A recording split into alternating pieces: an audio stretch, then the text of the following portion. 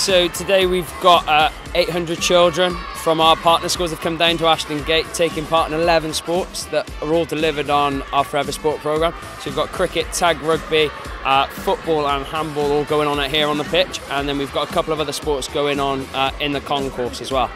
It's, it's all about children falling in love with sport um, and if we can introduce sport to them as early as possible and capture that, then hopefully they'll stay involved forever. For these kids, it's a once in a lifetime opportunity, and for us to be able to offer that to them is, is fantastic.